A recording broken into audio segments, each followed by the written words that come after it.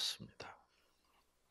예수님이 시험을 받으실 때 성령에게 이끌려 가셨는가? 그리고 팔복에 대하여. 그렇습니다. 음, 자, 예수님이 시험을 받으실 때 성령에게 이끌려 가셨는가?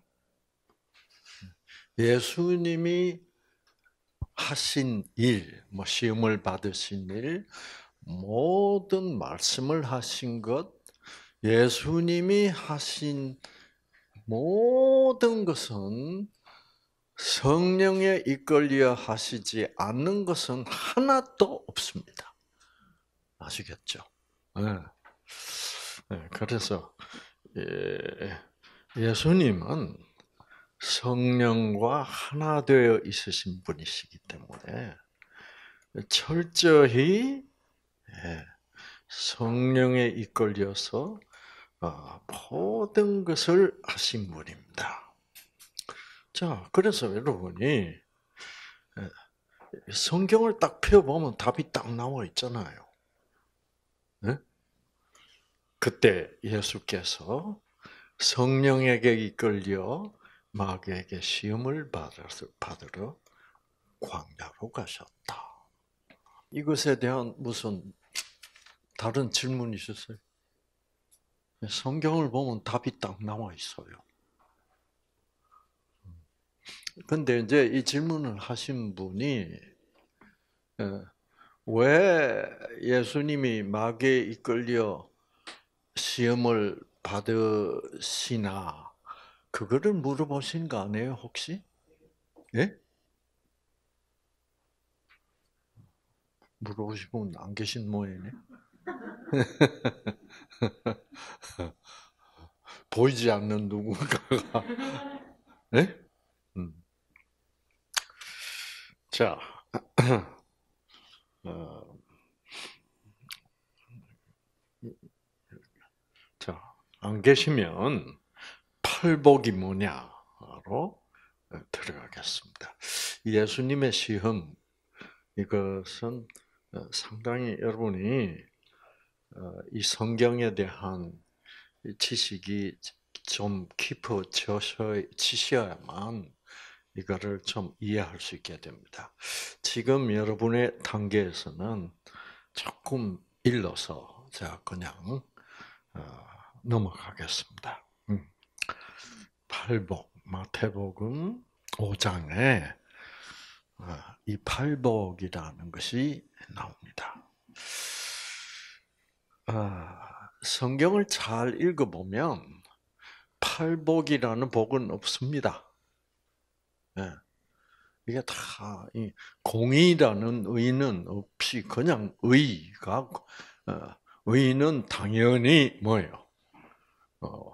어, 공적인 의죠. 그렇죠? 어, 근데 우리 자꾸 한국에서는 이렇게 성경에 없는 말을 만들어내는 경향이 있어요. 음? 공의라든지 팔복이라든지. 어, 이제 이렇게 되면 그건 성경을 깊이 이해하지 못했기 때문에 그런 어, 결과가 나오는 겁니다. 음. 그래서 이 마태복음 5장 이건 이제 주로 산상보훈 또는 산상수훈이라고 그렇게들 얘기합니다. 팔복이라는 말은 여러분 앞으로 안 쓰는 게 좋을 거예요. 아시겠죠? 어, 복이 복이 어, 어, 복이 뭐냐? 여덟 가지 복이 있다. 뭐 이런 식으로 되면 아주 성경은 어, 이상한 책이 돼요. 자, 그러면 복이라는 게 뭐냐? 아, 어, 부터 한번 해석을 다시 하고 이제 들어가야 됩니다. 음.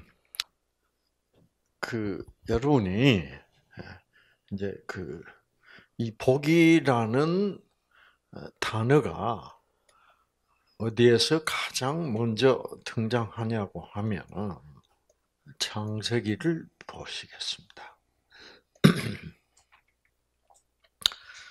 창세기 1장부터 복이 등장합니다. 어, 사람이 아직도 만들어지지 않았을 때 복이 나옵니다. 어, 하나님이 이제 복을 주셨다 는 말을 창세기 22장에 드디어 등장합니다.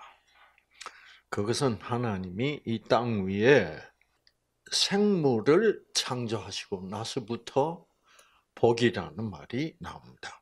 하나님이 가르쳤다. 물 속에서도 바다 속에서 생물로 생물이 번성하게 하라. 땅 위에 하늘의 궁장 궁창에는 하늘에는 새가 나르라. 아, 그다음에 큰 물고기와 물에서 번성하여 움직이는 모든 생물을 그 종류대로 날개에 있는 모든 새를 그 종류대로 창조하시니 하나님 보시기에 좋았더라. 네.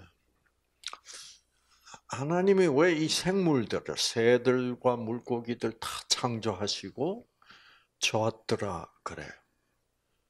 뭐가 좋았을까? 그래서 여러분이 어, 내 솜씨가 과연 최고야 하고 하나님이 자기 솜씨에 도취했다는 말일까요? 네, 그게 아닙니다. 좋았다. 좋았다는 말은 하나님이 너무 기쁘고 너무 좋았다 이 말이 기분이. 네, 그건 왜 그래요? 하나님이 하나님에게 제일 기쁜 것은 뭐예요? 기쁜 것은 하나님은 사랑이시기 때문에 사랑을 주는 일이 제일 기뻐요. 사랑 줄 일이 없으면 하나님은 하나님으로서 재미가 없어요. 그렇죠?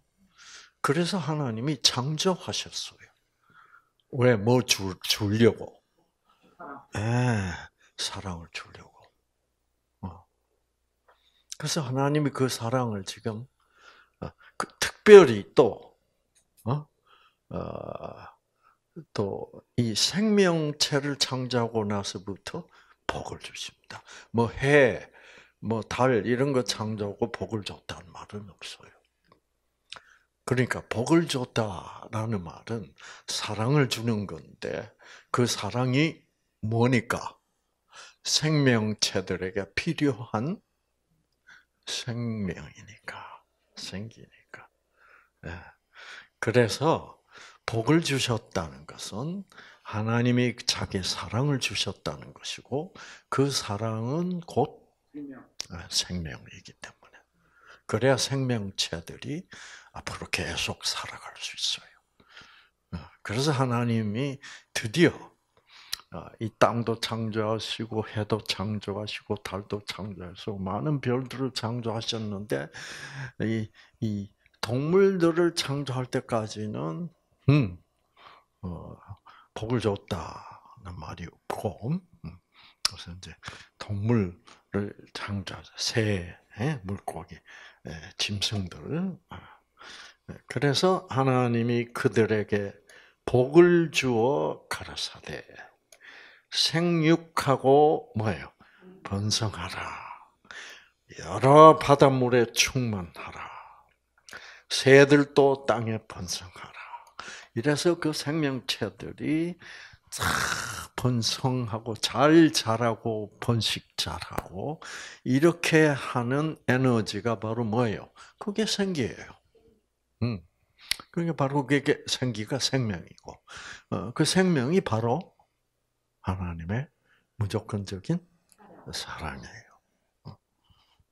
그래서 복을 주셨다는 말은 뭐 주셨다는 말이에요? 네, 그 생명체들이 생육하고 번성할 수 있도록 그 사랑, 생명을 주셨다는 말이에요. 그래서 사실은 그 생명이 복입니다. 우리는 그 생명을 알지 못하기 때문에 일반 이 세상 사람들은 알지 못하기 때문에 자꾸 그 무슨 어, 돈법 뭐 제복, 뭐 출세복, 남편복, 뭐 이런 이런 것들을 좋은 거를 주시는 거를 복이라고 자꾸 생각하고 있어요. 그건 참 세속화된 그 복, 즉 생명을 모를 때 그런 세속적인 어떤 좋은 것을 추구하는 그래서 그거를 받는 것을 복 받는다고 어, 어, 하죠. 어, 그래서 심지어는 여복이라는 것도 있어요. 여복처럼 골치 아픈 거 없죠. 그렇죠. 남자가 여복을 받으면 배가 망신해요. 네, 여자들 줄줄 따라다니면 남자들 완전히 망하는 거죠. 그렇잖아요. 음. 자, 그런 복은 다 조건적 복이고 이 세속적 복입니다. 그것은 생명과는 아무 상관이 없습니다. 아시겠죠? 그래서 하나님이 복을 줘할 때는 모든 생명체들이 생육하고 번성하게 하는 그 힘, 에너지입니다.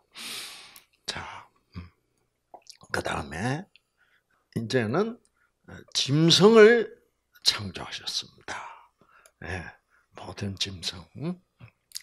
어, 그리고 육축, 소나 양들이나 그대로 창조하시니 아, 하나님의 보시기에 좋았더라. 야, 얘들에게도 뭐요?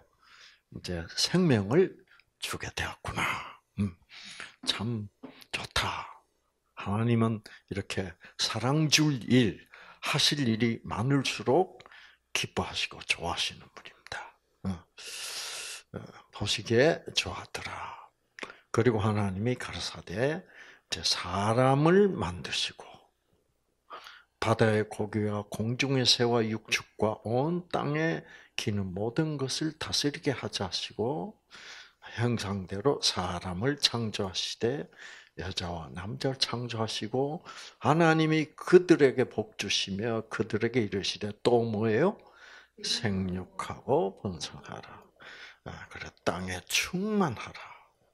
땅을 정복하라. 바다와 바다의 고기와 공중의 새와 땅에 움직이는 모든 생물을 다스리라 하시네. 여기서 다스린다는 말은 무슨 말이에요? 폼 잡고 정치한다는 말이 아니라 뭐 한다는 말이에요? 섬긴다는 말입니다. 왜 사랑 사랑한다는 말은 섬긴다는 말이죠. 그래서 하나님이 무조건적 사랑의 하나님이 다스린다 하실 때는 어, 섬김을 받는 것이 아니라 다스리는 자가 자꾸 섬김을 받죠. 그거는 이 조건적 세상의 일이고 어, 음, 무조건적 사랑의 하나님은 어, 섬김을 받으시는 것이 아니라 도리어 뭐예요? 섬기는 것이 받으시는 것입니다. 아, 아, 다스리는 것입니다. 아, 다스리라 하시고 음.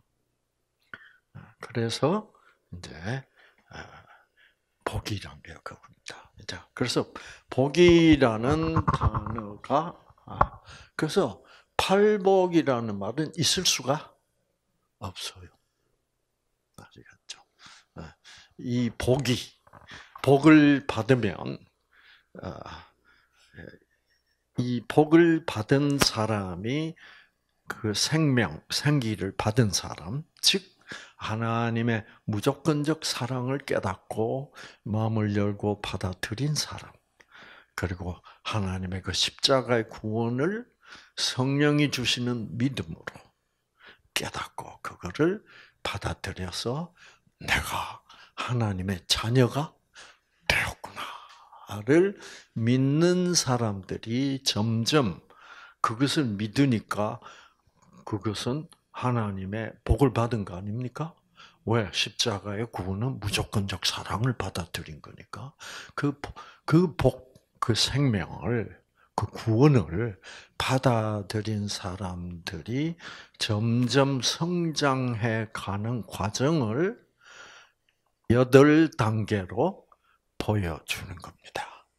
그래서 구원받은 사람, 음, 하나님의 생명을 받은 사람, 그래서 하나님의 자녀가 된 사람, 음, 즉 하나님의 무조건적 사랑을 깨달은 사람은 점점 첫 단계부터 어떻게 해요?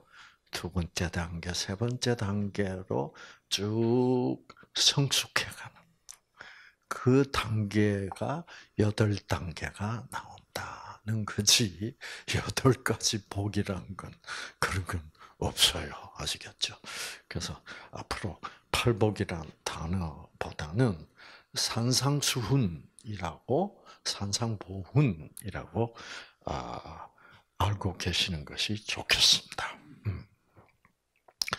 그다음에 이제 이 복이라는 게 있고 또 이제 일반 교회에 이렇게 가 보면 하나님이 상급을 주신다라고 얘기합니다.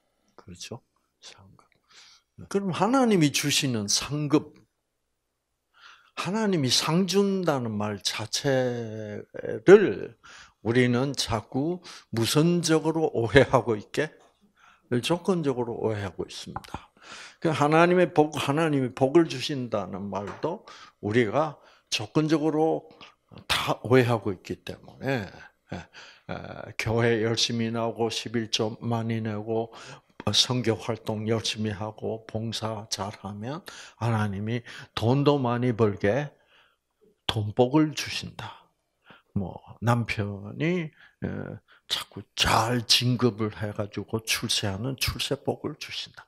다 이렇게 뭐를 잘 해드리면 우리가 하나님께 잘 해 바치면 하나님이 이런 세속적인 복을 주신다. 이게 다 세속적 하나님을 믿는 그런 신앙이고 그런 신앙을 우리가 통틀어서 기복신앙이라고 불러요. 아시겠죠? 그런 거는 이제 여러분하고는 거리가 멀어야 됩니다. 뭐 여러분이 지금 암에 걸려 계시는데 뭐 돈이 중요합니까? 여러분은 무슨 뭐를 받아야 돼? 진짜 복, 생명, 생기를 그 하나님의 사랑을 마음속으로 받아들이면 그게 제일 중요한 거죠, 여러분. 그렇죠? 그게, 그게 여러분을 치유하는 거죠. 어. 그 이상 중요한 거는 없잖아요. 그렇죠? 그래서 보, 어, 이제 상급이란 말도 이 복하고 비슷한 이런 오해를 받고 있습니다. 그래서 그거를 잠깐. 근데 이런 말들은 성경을 조금만 깊이 관심 있게 성경을 읽으면 아, 이 발복이란 말은 말이 안 되는구나라는 것을 아, 알아낼 수 있습니다. 그런데 이렇게 관심 있게 안 보면 어, 계속 그 여덟 가지 복이란 게 뭘까? 어, 그리고 계속 아, 이제 어, 의문 품고 살게 되는 거죠.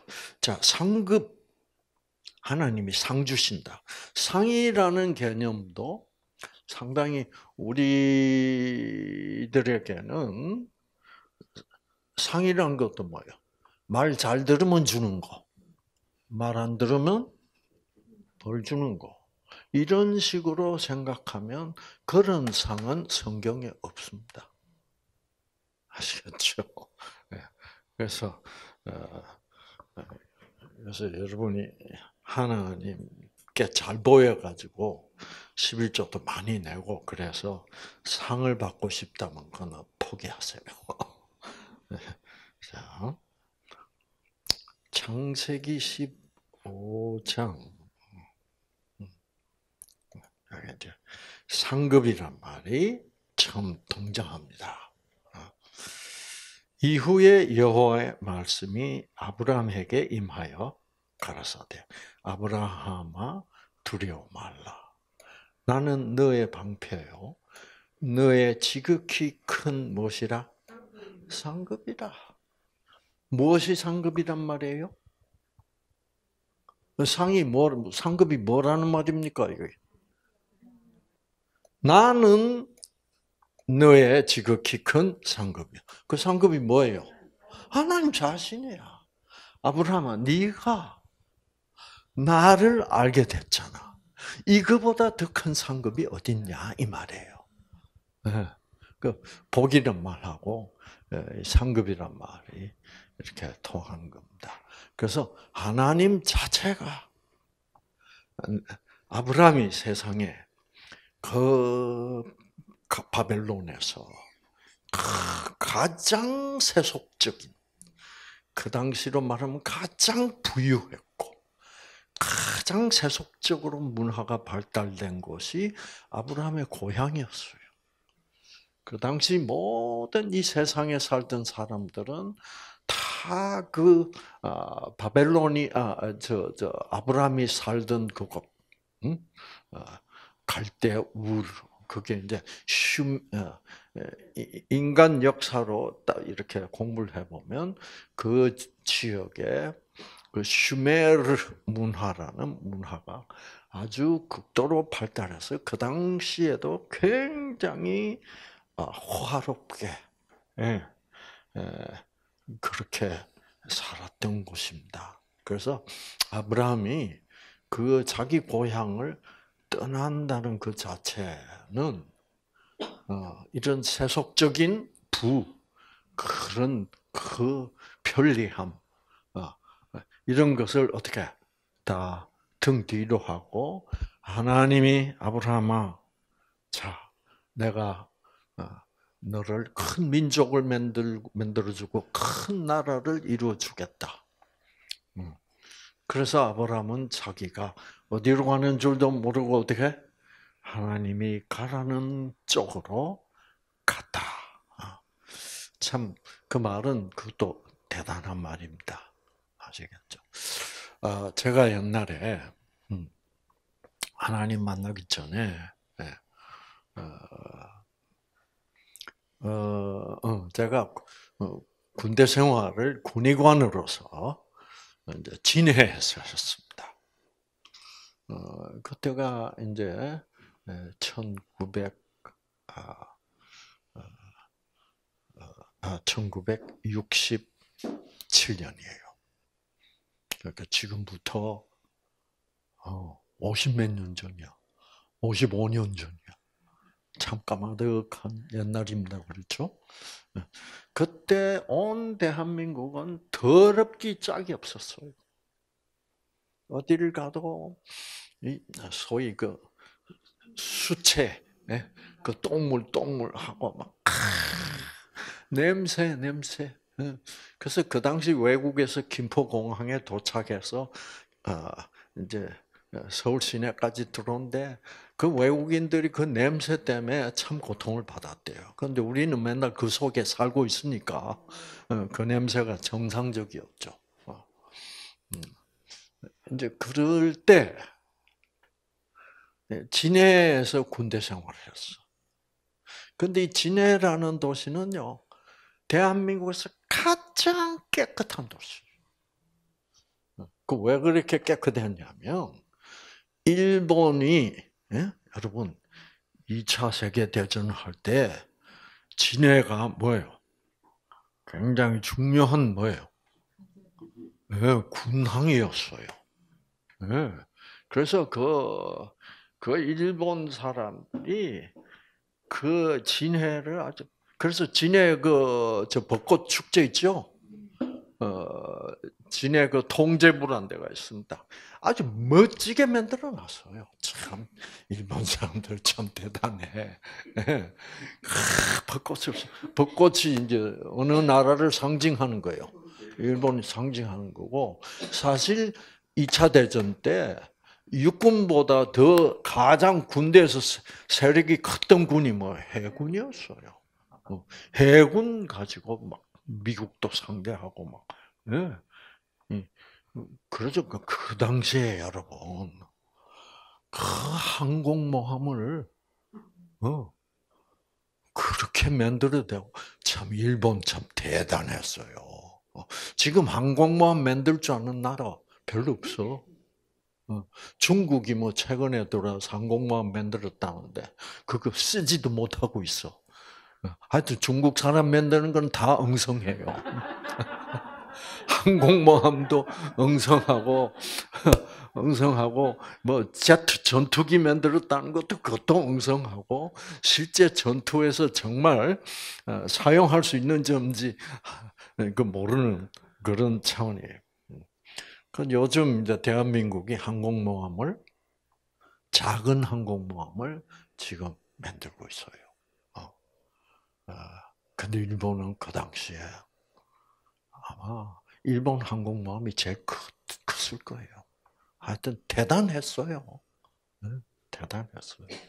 네, 그때 뭐 비행기 만들어서 어, 그때 뭐 우리나라는 비행기가 뭔지도 잘 모를 때 참 대단했던 사람이에요. 그래서 음, 그래서 그때 어, 그래서 진해에서 하여튼 그 해군들이 다 세니까 그게 막 막대한 돈을 들여가지고 진해라는 도시도 깨끗하게 그래서 대한민국 해군은 일본 해군이 만들어 놓은 뭐요? 그대로 진해를 받았단 말이에요. 그래가지고 진해에서 얼마나 군대 생활을 재밌게 했는지 이제 그 군대 제대하면 미국을 가야 되잖아요.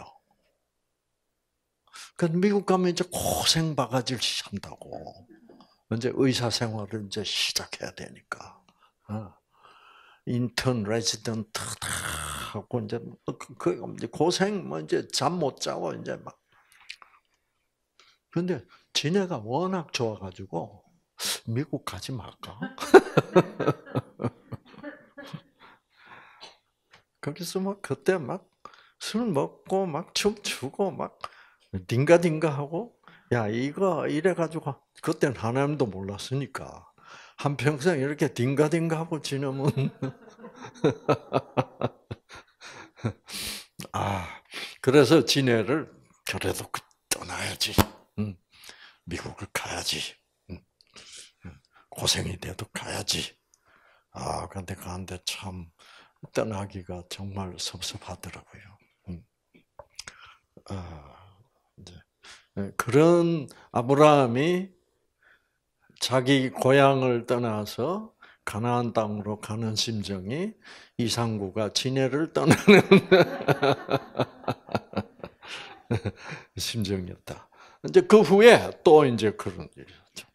그래서 제가 병원을 시작해서 돈을 많이 벌어가지고 모든 미국 사람들이 가장 살고 싶어하는 곳에 집을 샀어요.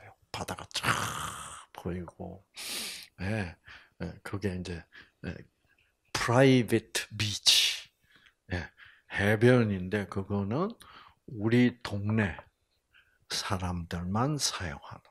그 동네가 한 40가구인가 됐어요. 그, 거기 사는 사람만 들어가도록 이렇게 문이 잠겨 있고, 그래서 내려가면 조용하고 참 너무너무 좋았어요. 어? 그래서 거기에 내려갈 때마다, 바닷가 비치로 내려갈 때마다, 기분 좋았어요. 이야, 내가 어떻게 이런 개인용 어? 해변이 있는 곳에 다 집을 쌓았지. 그래서 아 그래서 이제 어, 어디 사십니까 물어보는 것이 저한테는 기분이 굉장히 좋은 일이었어요. 어, 어, 그, 그 동네를 Cameo Corona del Mar라고 불렀어요. 그래서 바닷가 언덕의 왕관 이라는 거죠. 그러니까 끝내주는 곳이라는 거지. 예. 그래서 어디 사냐 그러면 Corona del Mar 그럼 wow 그래 그럼 아 하나님을 만나가지고 아 딱 보니까 NEWSTART를 하는 것이오라. 그렇잖아. 또 내가 그 오랫동안 어, 그때 한 미국 의사 생활 한 7년 한 거예요. 하, 이거 뭐 아무리 약을 처방하고 뭐 어쩌고 해도 낫게 돼 있는 것이 아니라 그래서 하나님을 만나고 NEWSTART를 알게 되니까 내가 어떻게 할 거냐. 근데 이 Corona del Mar를 떠나기가 싫은 거예요. 응? 그런데도 어떻게?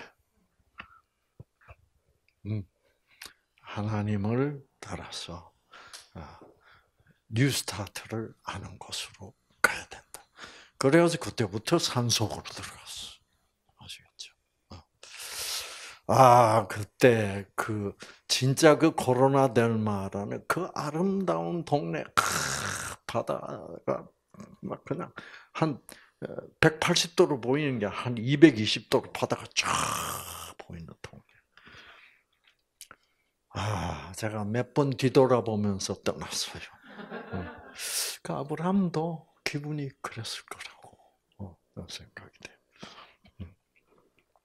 자, 그래서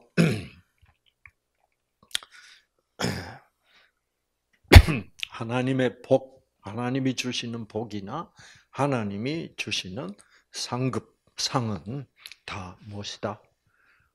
하나님 자신이요. 그것은 무조건적 사랑이요. 그것은 생명이다. 아시겠죠? 그 이상 좋은 게 어디 있습니까? 그렇죠? 음. 자, 그러면 우리가 이제 소위 산상수훈 어, 팔복이라는 것을 어, 이제 들어가 보겠습니다. 이 순간 마태복음 5장 1절의 순간 음, 어, 예수님이 그 당시까지도 예수라는 목수죠. 나이가 30밖에 안 된 목수죠. 아, 이제 그 그래서 어, 그리고 아주 시골 동네에서 태어나서 어, 어, 아무 존재 없이 살고 있던 그냥 목수에 불과했습니다. 그 예수에게 성령이 왔습니다. 그렇죠. 그래서 성령이 예수에게 인자 인제 예수께서 하실 일을 시작할 때가 됐습니다. 그래서 그 예수님이 그 구원의 일을 하시기 시작한 때, 아, 그때가 시작하는 순간입니다, 이게. 음. 그래서 그 동안에 예수님께서 이제 여기저기 댕기면서 제자를 구했습니다. 이 제자를 구하는 얘기도 참 이게 중요한 얘기인데, 나중에 시간 있을 때 하고.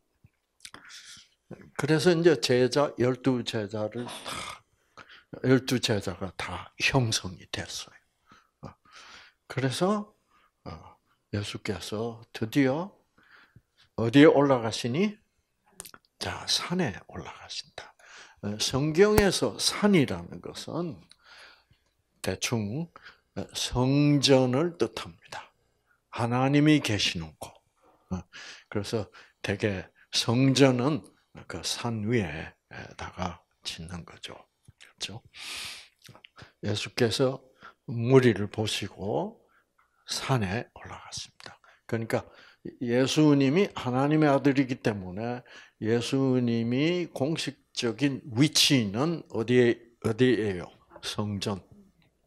그래서 드디어 이제 산에 올라가시는 것은 어, 이 예수 그리스도라는 어, 남자는 하나님의 아들이다라는 것을 상징하는 그런 것을 뜻합니다.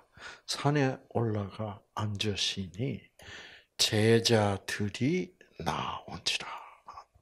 제자들도 나옵니다.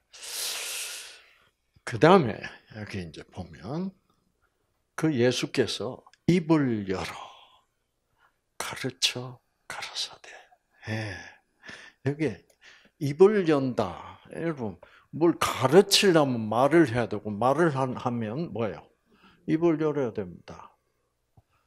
그런데 성경은 그러니까 그냥 가르쳐 가라사대 그러면 되잖아요. 맞죠? 근데 여기 보면 구태여 입을 열으셨다. 여러분, 아, 이제 이것은 어떤 말이든지 그 말이 누구의 입으로부터 나왔나가 중요해야 돼요.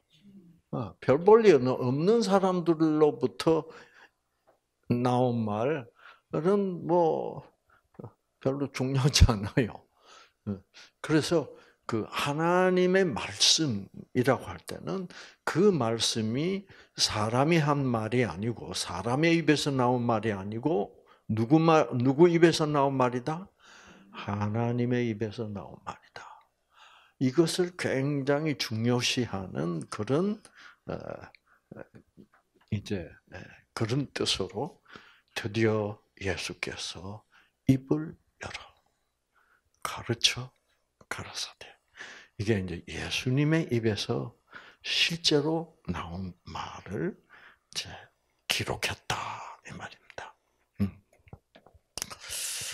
자, 근데 첫째 말씀이 예, 심령이 가난한 자는 복이 있나니 천국이 저희 것이다. 자, 이거를 성령이 없이 읽으면, 아, 야, 하나님이 무슨 복을 준다는데, 그 복 받을 수 있는 자격은 무엇이다? 심령이 가난한 자가 복 받을, 복 받을 자격이 있다. 이런 말이라고 생각해요. 그리고, 어, 심령이 가난한 자를 하나님의 찾아서, 어, 너는 심령이 가난한 사람이구나. 그러면 내가 복을 줄게. 예. 그리고, 어, 너는 어, 천국의 주인이야. 천국이 저희 것입니다. 대충 다 그렇게 해석합니다. 그런 해석이 바로 무슨 해석이에요? 조건적 해석이요. 그게 옳을까요? 그래서 사람들은 여러 가지 고민이 많습니다. 심령이 가난해야 복을 주신다는데, 심령이 가난하다는 말이 무슨 말일까? 그래서 이제 대충 설명하는 설명이 어떤 설명이냐고 하면, 아, 욕심이 없는 것이 심령이 가난한 것일 것이다. 또는 이제 마음을 비운 것, 마음 비, 비웠다는 말도 욕심을 비웠다는 말하고 다 통해 그렇죠. 그래서 욕심을 다 비우고 다 내려놓으면, 어 하나님이 어 너 잘 내려놨구나. 너 보니까 욕심이 없는데 그러면 너는 복 받을 자격이 있어. 그래서 복을 줄게 그럼. 그리고 어, 천국이 너 의 것이야. 천국이 저희 것이며. 이렇게 해석을 하고 지나가면 모든 사람들이 당연하게 생각해요. 음. 그것은 조건적 해석입니다. 무조건적으로 해석하면 어떻게 될까요? 하나님은 그런 조건적인 분이 아니다. 하나님의 사랑은 무조건적 사랑이다. 조건적 사랑은 생명이 될 수가 없어요. 네. 그래서 우리 이 말씀은 아주 조건적으로 네, 한국말로 이렇게 번역이 되어 있습니다. 네. 한국말에 거의 대부분의 성경이 이렇게 조건적으로 번역이 되어 있는데, 아, 이제 영어 성경 중에 킹 제임스 성경이라는 성경이 가장 어, 원어하고 가까운 어, 정확한 번역을 하고 있어요. 여기 보면 어, 심령이 가난한 자 라고 그러는데 그것을 영어로 하면 poor in spirit.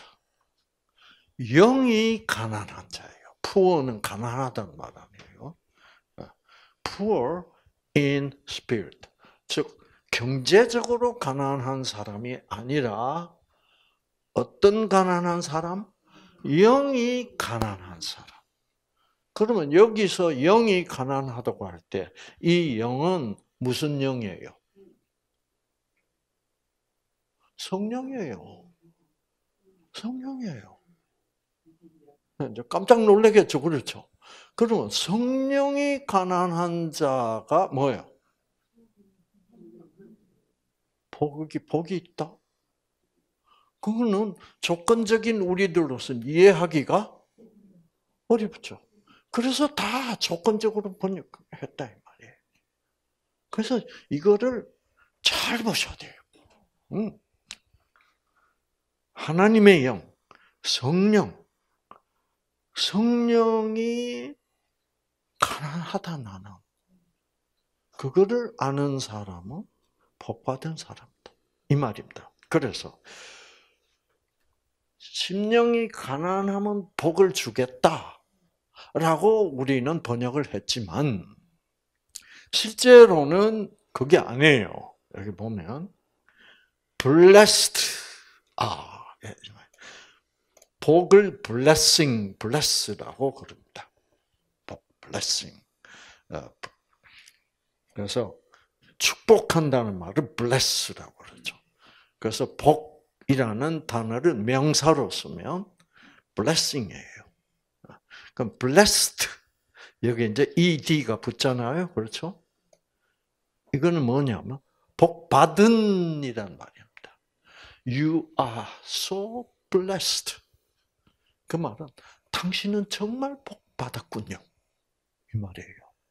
어, blessed라는 말이. 네. 자, 어, 예를 들어서 어, 어, 뉴스타트에 암 환자가 왔는데, 아, 이거 큰일 났네. 나는 이제 죽는 거구나. 아. 근데 강의를 탁, 한 3일 듣고 나더니, 그분이 저한테 와서, 박사님, 제가 두려워서, 무서워서 잠도 못 자고 이제 죽는구나. 했는데, 이제는 그 두려움이 뭐예요? 싹 사라졌습니다. 그러면 제가 뭐라 그러게? 복 받으셨구만요. 그게 복이요. 아시겠죠? 네. 우리, 우리 사모님은 복 받은 자입니다. 이거요. 아시겠죠? 그래서 복, 그래서 여기 뭐냐면, 복 받은 자들은 복 받은 자들아 너희들은 어떤 사람이다? 성령이 가난한 사람이다. 이 말입니다. 성령이 가난하다는 말은 무슨 말이게? 성령은 뭐예요? 사랑이에요. 그렇죠? 어. 성령. 하나님의 성령은 생명이고, 그렇죠. 진리이고, 그래서 성령을 진리의 성령, 어. 생명의 성령의 법, 다 어. 이렇게 되죠. 그러면 사랑이에요, 사랑. 성령의 가장 큰 특징은 사랑인데 어떤 사랑이에요? 무조건적 사랑.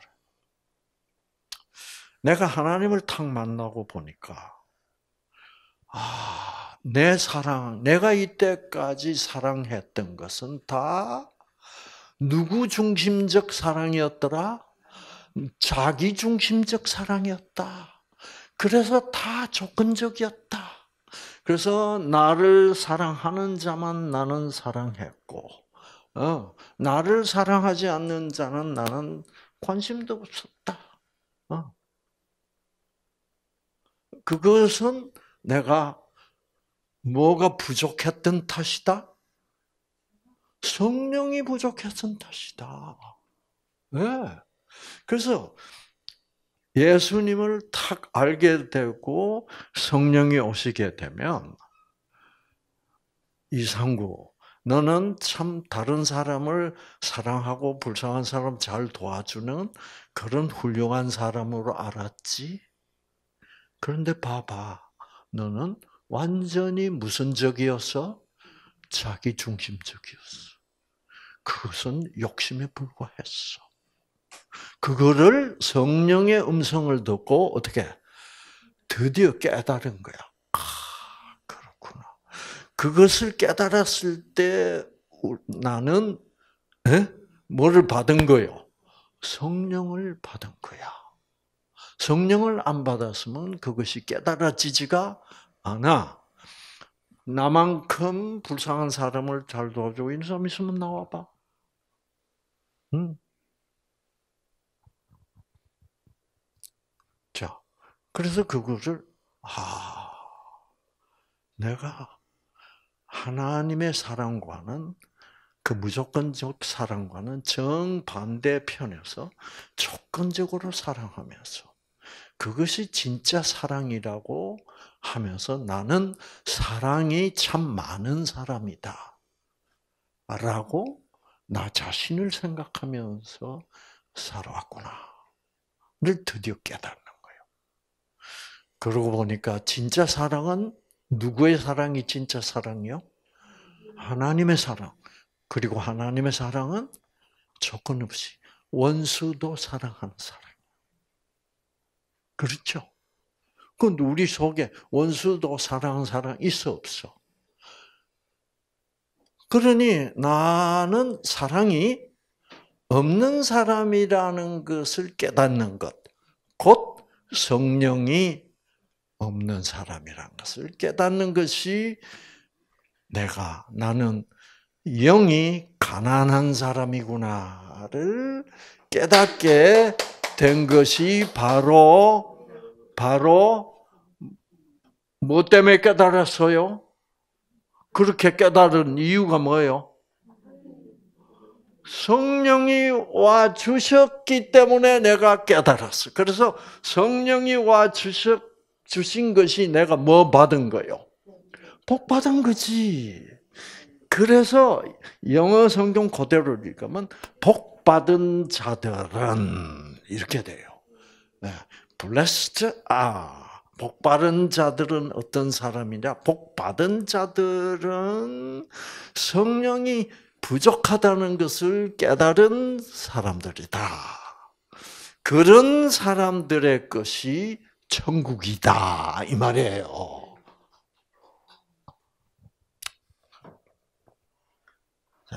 그런데 우리말 성경은 어떻게 돼 있어요? 심령이 가난한 자는 복을 받나니 어, 그래서 복 받고 천국에 갈 것이다. 이런 식으로 번역이 되어 있다. 아주 성령적이 아닌 번역이에요. 어, 이런 이런 세상적인 번역, 어, 육적인 번역, 조건적인 번역이에요. 음. 그래서 이게 이걸 번역하신 분들이 그 당시에 영어 영어 수준이 아주 낮았던 그때는 뭐 영어를 한국 사람으로서 이게 수십 년 전에 번역을 됐는데 영어를 아는 사람들이 별로 없었죠. 그렇죠. 자. 그래서 이제 무슨 말인지 아시겠죠? 우리가 복을 받으면 곧 성령을 받으면 곧 하나님의 상급을 받으면 하나님을 어떻게 하나님이 나에게 오셔 오셔서 그것이 상급 아닙니까? 그것이 복 아니에요. 그 복을 받으면 내가 깨닫게 되는 것이 뭐라고? 아, 나는 부족한 인간이구나. 네. 나는 성령이 없었던 사람이고, 어, 내 체면이 중요했고, 네. 결국 어, 그런 사람이 불과했구나를 성령을 받은 사람 곧 복을 받은 사람은 그것을 깨닫게 된다. 천국은 어떤 사람의 것이냐? 그런 사람의 것이다 이 말이에요. 네. 그러니까 여러분이나 저나 다 그런 사람들이야. 그러니까 천국은 우리 거라니까. 그게 복 아니요? 예, 박수. 예, 예, 그렇지. 예, 예. 그러나 조건적으로 신앙생활하는 사람들은 이런 해석을 들으면 어떻게 할까? 화냅니다. 좋아하지 않아요. 아, 적어도 천국 갈 수 있는 사람은 우리 정도는 돼야지. 어? 교회에다가 내가 어, 적어도 1년에 1억 원 헌금을 한다고 이랬으면서. 아시겠죠? 그게 아니다라는 거예요. 그러니까 이 당시 예수님이 왜 그렇게 유대인들에게 죽임을 당했어요? 이런 소리 하니까. 어. 그 당시 유대교의 바리새인이나 서기관들이 그 이스라엘 백성들에게 가르친 건 뭐예요? 아, 불쌍한 이웃을 열심히 도와라. 음. 그리고 율법을 잘 지키라. 그러면 하나님이 나중에 잘 심사해가지고 음, 네가 천국 갈 자격이 있나 없나를 검토해보고 그래서 어, 천국에 가게 될 수도 있으니까 열심히 하라고. 유대인들은 최고위 종교 지도자들은 그렇게 가르치고 있는데 예수님은 정반대로 거꾸로 가르치고 있어. 그렇죠? 자, 제가 방금 얘기한 이 심령이 가난한 자는 복이 있나니 그래서 이렇게 읽으면 안 돼요. 이제는 복 받은 자들아, 너희들은 심령 성령이 가난한 줄을 너희가 알았구나. 그러면 천국은 너희들 것이야. 왜? 성령을 받았으니까. 그렇죠. 성령, 성령 여부가 모든 것을 결정합니다, 여러분. 그래서 여러분 성경 공부를 좀 깊이 해보면, 아, 모든 것이 성령이구나. 알아서 다 깨달을 수 있습니다. 자, 제가 여러분께 해석해 드린 것이 어, 맞다는 것이 바로 그 다음 사절이 증명을 하고 있습니다. 애통하는 자는 복이 있나니 이거 말이 안 되죠. 조건적으로 해석하면 어, 어, 뭐 때문에 애통하는지를 몰라, 그렇죠? 뭐 애통할 이유가 뭔데? 맨날 아이고 아이고 어떡하지 하고 애통하면 복을 준다고? 그 말이 돼요, 안 돼요? 말 안 되잖아. 그러면서 저희가 애통하는 자는 위로를 받을 것이요. 그럼 뭐를 애통한단 말이요? 네. 뭐를 애통하겠습니까, 여러분? 자, 내가 복을 받았어. 성령이 오셨어. 그 성령을 받고 즉 복을 받고 보니까 나는 뭐예요? 이때까지 폼생폼사한 것밖에 없어. 교회에서도 잘난 척하고 교회에서도 출세하고 정치하고 그러잖아요. 그렇죠. 그래서 다른 교인들에게 폼 잡고 어, 어, 나중에 수석 장로를 선출할 때 나를 찍어 주시오. 이러면서 나는 하나님이 내가 돈을 많이 교회 헌금했기 때문에 하나님이 나를 복을 주실 것이라고 상을 주실 것이라고 그래서 교회에서 제일 높은 평신도 중에 제일 높은 어, 게 누구요? 수석 장로야. 그래서 명함에 어느 어느 교회 수석 장로라고 찍으면 이 세상에서도 또 알았죠. 이제 그런 식 신앙생활은 아니다 이 말이에요. 음. 그래서 내가 드디어 와, 내 신앙은 그런 쓰레기 같은 신앙이었구나. 아무것도 아니었구나.를 깨닫게 해주는 것이 복이다, 성령이다 이 말이에요. 그래서 그 성령을 받아들이고 내가 그것밖에 안 됐구나. 하나님 감사합니다. 아, 그래서 내가 그것밖에 안 됐구나. 내가 참 지금 참 부끄럽다. 고개를 못 들겠다. 그러면서 나의 그 상태를 애통하는 자가 뭐요? 애통하는 자가 왜 애통을 할 수 있게 됐어요? 성령 복을 받았기 때문에. 그래서 복 받은 자들아 너희는 애통하는 자들이야. 어, 그러 그러나 너희들 너무 너무 슬프게 생각할 거 없어. 그렇지만 내가 무조건적 사랑으로 완전히 은혜로 네가 하나도 잘한 거 없어도 내가 십자가에서 내 아들을 대신 피 흘리게 해서 너를 내 자녀로 삼았잖아. 그러니까 진정해. 애통, 고만해. 그래서 그것이 뭐예요? 하나님이 위로를 해주신다. 이 말이에요. 됐죠? 이해가 갔습니까? 이게 이제 거꾸로가 돼서 어, 이게 설명을 어, 하는데 참 거꾸로 알고 있는 것을 이렇게 뒤집 뒤집어 간다는 게참 아, 힘이 많이 들어요, 여러분 아시겠죠? 그래서 그래서 저는 강의할 때 애를 많이 써야 돼. 쉽게 뒤집어 볼 수가 없어. 엉성하게 뒤집어 보면 에 저거 완전히 엉터리야. 어, 그런 말 듣죠. 그 다음에 여기 이제 온유한 자는 복이 있다니. 자, 이게 이제 거꾸로 해야 됩니다. 복을 받은 자는 성령을 받은 자는 온유한 자가 된다. 여기서 이제 온유하다는 말 단어가 아,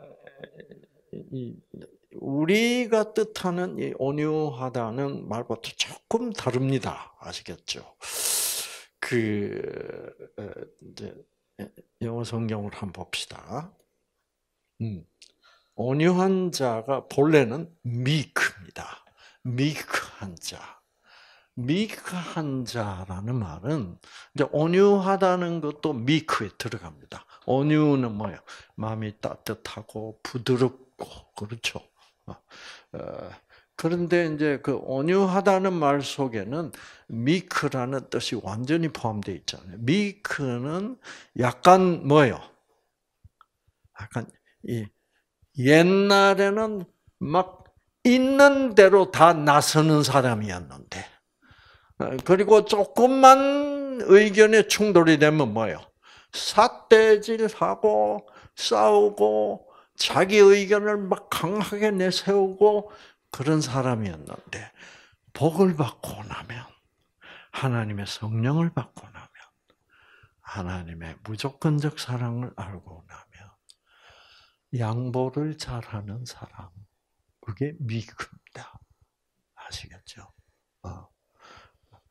그러면 그 미크하게 맨날 있는 데마다 나서고 그런 사람들이 이렇게 미크하게 되기 위해서는 성령을 받아야 돼. 무조건적 사랑을 받아야 나하고 어, 사랑을 성령을 받아야 나하고 의견이 조금 상반되더라도 어떻게 좀 기다려주고 아 그, 그래요. 그러면 일단 그렇게 한번 해보시죠. 그래서 막 쉬운 말로 하면 미크라는 말은 성령을 받아야 즉 복을 받으면 저주는 사람이 된다 이런 뜻입니다. 아시죠? 네, 옛날에는 막 지면 뭐예요? 속상해 가지고 잠을 못 자고 이런 사람이었는데 이제는 어떻게 내가 양보하고 아, 저 어, 저 저도 하나도 억울한 마음이 없고 오히려 그렇게 저줌으로 말미암아 내 마음이 어떻게 더 평안한 그런 사람이 된다. 옛날에는 지면 억울해서 져줄 수가 없어. 반드시 이겨야 돼. 그 이제 이겨놓고는 또 어떻게 합니까? 자기가 얼마나 잘 이겼나를 또 막 자랑하고, 진 사람을 쪼다라고 또 얘기하고, 이제 그런 악한 그 조건적 생활로부터 멀어지는 사람이 된다는 거죠. 음. 그래서 아, 어, 그래서 여러분 어, 성령이 오시면 즉 여러분이 복을 받으시면 지는 재미도 있다는 것을 깨닫게 됩니다. 아, 옛날에는 지고서는 못 살아. 근데 이제는 저도 기분 괜찮네. 음, 네. 이런 아, 조건적인 세상에서는 영 뭐처럼 되는 거요? 쪼다가 되는 겁니다. 아시겠죠? 어. 그러나 나중에 보면 하나님이 다 뭐예요? 그 진 것은 져준 것이고 결국은 저도 이 진 남편의 말이 어떻게 옳았다는 것이 나중에 하나님이 나타내 주는 그런 놀라운 것을 여러분이 이제 경험을 하게 됩니다. 아시겠죠? 어. 자, 그래서 음. 그래서 저줄라면요 기도 많이 해야 돼요. 네, 그래서 자, 그래서 복 받은 자들아, 아, 자들아, 너희는 어떻게 져줄 줄 아는 사람이 되었구나. 자, 그래서 너희는 이제 예, inherit earth 이 땅을 아, 기업으로 받을 것이다 이 말입니다. 어, 다시 자 저희가 땅을 기업으로 받을 것 여기서 기업으로 받는단 말은 상속받는다는 얘기예요. 어, 여러분 이제 나중에 여러분이 심판을 공부해 보니까 아, 이이첫 첫 번째 땅, 그렇죠? 음, 이 지구도 없어지고, 자, 요한계시록에 나왔다고 그랬죠?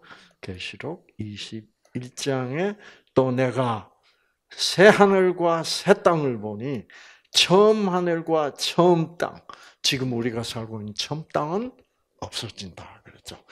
처음 땅이 어떻게 해요? 없어졌고 그래서 그 새 땅을 상속으로 받는다. 그러니까 치고 사세요. 치고 산다고 뭐 잃는 거 없습니다. 아, 억울할 거 없고, 예, 예. 너무 이기려고 바닥바닥 하다가 유전자 다 꺼져. 아시겠죠? 어. 음. 우리 선순 씨 많이 이겼던가요? 예. 요즘은 꽤 지고 삽니까? 예. 우리, 우리 선순 씨 참, 아, 너무 너무 기뻐하고. 음. 자, 그 다음에. 그 다음에 성령을 받은 사람, 무조건적 사랑의 영, 그 복을 받은 사람은 어떻게 된, 된다? 예, 의에 줄이고 목마른 사람이 된다. 의에 줄인다는 말은 무슨 말일까? 어, 이때까지 강의 들으셨으면 대답해요. 제가 여기에 의자를 여러 번 썼어요. 의자를 뭐 제가 아주 많이 썼어요. 그렇죠? 네. 하나님의 의, 하나님의 정의, 하나님의 오르심은 뭐예요? 무조건적 사랑. 조건적으로 하나님이 사랑하면 그거는 하나님이 옳지 않다. 그거는 누구의 주장이야? 그건 사단의 주장이야. 아시겠죠? 그래서 이런 거는 여러분 딱 정리가 딱 돼야 돼요. 네. 그래서 하나님의 의 그러면 무조건적 사랑 이렇게 정리가 딱 돼야 앞으로 성경 읽는데 막히지가 않습니다. 근데 하나님의 의가 뭐 뭔지 의예요. 그 의가 뭐야? 이렇게 되면 뭐 깨달을 수 없는 거죠. 그렇죠? 그래서 아, 이 무조건적 사랑을 더 깊이 알고 싶다. 아, 그게 아까 우리 남문자님이 말씀하신 거예요. 네. 어, 그 조건적인 신앙생활을 20년, 30년 하고 나니까 철저히 조건적으로 변질이 돼가지고 이 무조건적 사랑은 배워도 어떻게 또 잊어버려. 배워도 또 잊어. 이제는 좀 무조건적 사랑을 더 깊이 확실히 깨달았으면 얼마나 좋을까. 이것이 이제 의에 줄이고 뭐요? 목마른 자가 된다 이 말이야. 무엇을 받은 결과? 복을 받은 결과. 성령을 받은 결과 그런 사람이 된다. 그래서 성령 받기 전에는 뭐 하나님의 사랑 뭐 사랑이겠지 뭐. 뭐 조건적 무조건적 아예 귀찮아 뭐. 의에 줄이고 목, 전혀 목마르지 않아. 그걸 알고 싶고 더 깊이 알고 싶고 알수록 더 유전자 켜지고 더 기쁘고. 음, 음. 그래서 우리 남은저씨 이 얘기하는 거 보면 어, 신났어요, 안 났어요? 신났어요. 어. 계속 하나님의 말씀을 계속 연구하면서 계속 강의 들으면서 아, 그렇구나. 참 좋다. 맞았어. 이거 내가 아직도 잘 몰랐는데 이제는 내가 알았다. 아, 하나님 감사합니다. 이런 사람은 진짜로 다 나가지고 잘 살고 있어. 아시겠죠? 어. 왜요? 맨날 기쁘니까. 어. 저 저도 기쁘니까. 어, 그러면 한 나 볼만 하지 않습니까? 네. 저 주고는 안 기쁘면 나 봐야 별 소용 없을걸요. 나 봐야 뭐요? 저 주면 안 되니까. 반드시 이겨야 되니까. 싸워야지, 그럼. 그럼 또 유전자 꺼질까, 안 꺼질까? 꺼지겠죠. 그런 거예요. 그래서 성령을 받아, 그래서 복을 받아야 돼.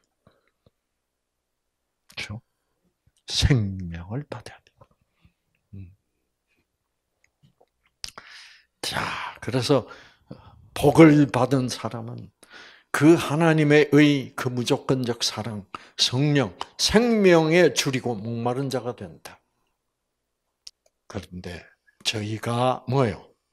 배부를 것이며요.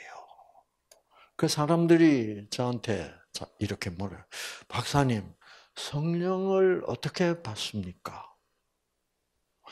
어떻게 받는 방법은 없어요. 어떻게 되면 받게 돼 있어.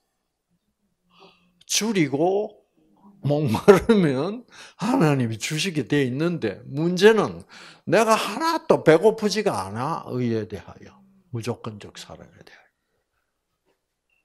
그리고 목이 타야 안 타? 안 타. 음. 그래서 여러분이 의에 줄이고 목말라지면 무엇을 받아서 조금이라도 성령을 받아서 의에 줄이고 목말라지면 자꾸 이런 질문을 저한테 하고 싶어져요. 이거는 뭐왜 그런지 저거는 네. 네, 결국 쉬운 말로 하면 복을 받으면 성령을 받으면 하나님 말씀에 대한 관심이 깊어지는 거예요. 깊은 관심을 갖게 되고 어. 그렇게 되죠. 그래서 어, 의에 줄이고 목마르지 않다 그러면 하나님을 알고 싶은 마음이 그렇게 배고프지도 않고, 응? 목마르지도 않다. 옛날 대한민국 어, 국가대표 축구팀이 월드컵에서 세상에 우리는 몇 강까지만 올라가도 좋겠다 그랬는데 16강까지만 올라가자.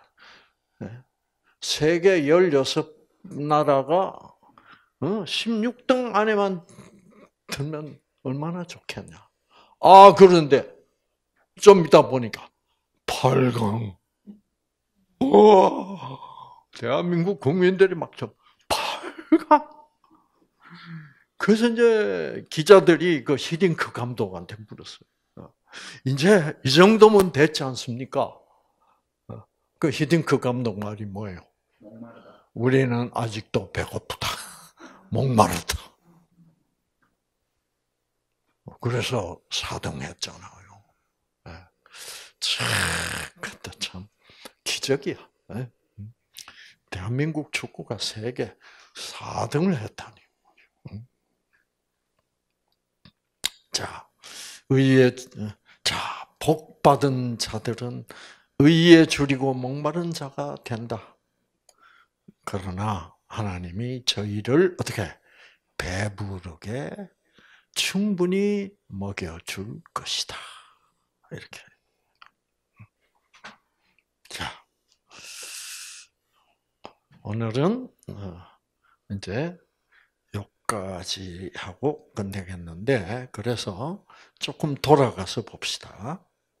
제가 그 성령이 와서 즉 복을 받아서 우리가 영적으로 성숙돼 가는 그 단계를 보여주고 있다. 그렇습니다. 아시겠죠? 네, 그래서 제 첫째 단계가 뭐예요? 야, 나는 성령이 없었구나. 어, 참 사랑이 없었구나. 를 깨닫게 되고, 그 두 번째 단계가 뭐예요? 그 때문에 참 내가 나 자신을 애통할 수 있는 사람이 되었어. 아. 그리고 그 단계를 끝나니까 이제는 맨날 의견 충돌로 싸우고 하다가도 어떻게 온유하고 미크하고 져주는 그런 수준까지 이제 갔어. 어. 아, 아, 그래서 어, 그래서 그 저줘도 나는 저주면 억울해서 잠도 못 잘 줄 알았는데 저줘도 마음이 편안하고 어, 오히려 이제 저주기 시작하면 내 주위 사람들과 관계가 어떻게 부드러집니다. 어, 그러면서 변화가 일어나기 시작해요. 아, 그래서 이거 참 좋구나. 그러니까 이제 우리가 그 무조건적 사랑, 그 하나님의 의, 그 생명에 줄이고 목마른 자가 된다 이 말이에요. 아시겠죠? 어. 그래서 요게 몇 단계까지 갔어요?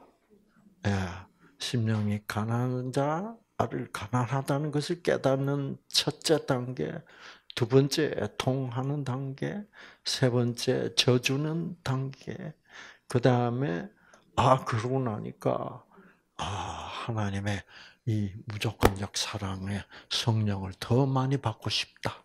더 깊이 하고 싶다를 깨닫는 그런 사람 4단계까지 갔습니다. 아, 그래서 지금 8단계 중에 뭐요? 예, 가운데까지 왔습니다. 나머지 4단계는 어떤 단계가 기다리고 있을까요? 그것은 다음 시간에 하도록 하겠습니다. 아시겠죠? 참 좋으신 하나님. 정말 아, 이렇게 아, 십자가의 강도 같이 그렇게 악하게 정말 도덕적으로는 가장 밑바닥에 사는 그런 사람에게도 사랑을 주시고 정말 성령을 주셔서 아 하나님의 사랑은 무조건적 사랑이구나 를 깨닫게 하시고 구원하신 그런 하나님 참으로 어, 우리가 성령으로만 깨달을 수 있는 그런 하나님이 되어 주셔서 정말 감사합니다. 그래서 우리는 이것을 이런 놀라운 사랑을 알면 알수록 하나님의 의, 곧 그 무조건적 사랑이 더욱더 깊이 알고 싶고, 어, 그래서 의에 줄이고 목마른 만큼 우리가 영적으로 성숙되어 가는 과정을 우리가 오늘 공부했습니다. 하나님, 이제 정말 이 영적으로 성숙할수록 우리의 유전자들은 점점 더 건강해집니다. 점점 더 회복합니다. 이 영적 건강과 함께 정말 우리의 건강도 하나님의 그 무조건적 사랑, 그 생명, 그 복으로 치유받는 우리 모두가 되게 하여 주시옵소서. 예수님 이름으로 기도합니다. 아멘. 감사합니다.